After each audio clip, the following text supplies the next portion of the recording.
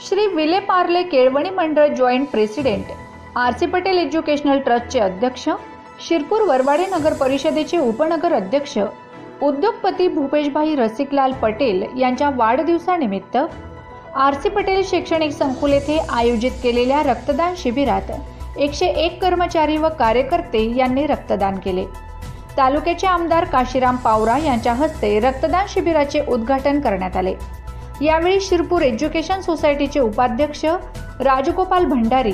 संस्थेचे सचिव प्रभाकरराव चव्हाण संचालक बबनलाल अग्रवाल श्री बालाजी संस्थेचे उपाध्यक्ष गोपाल भंडारी फिरोज काझी वित्त अधिकारी नाटूसिंग Girase Shailendra Agrawal CEO doctor Umesh Sharma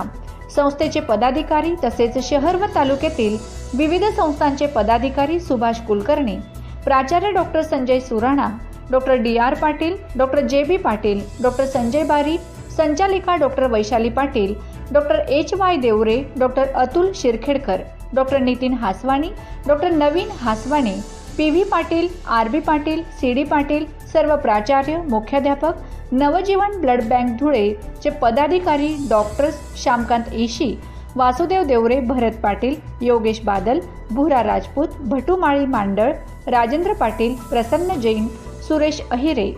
Nitin Girase Harshal Girase Jagat Singh Rajput Jaisingh Rajput Sanjay Chaudhari Bhalerao Mali Santosh Mali Salim Khatik Raju Shaikh Zakir Shaikh Razak Qureshi Rajendra Patil Narendra Patil Sanjay Koli Rajesh Marwadi Sanjay Koli registrar Jitesh Jadhav Nitin Mali Nahid Malik अनेक पदाधिकारी कार्यकर्ते उपस्थित होते.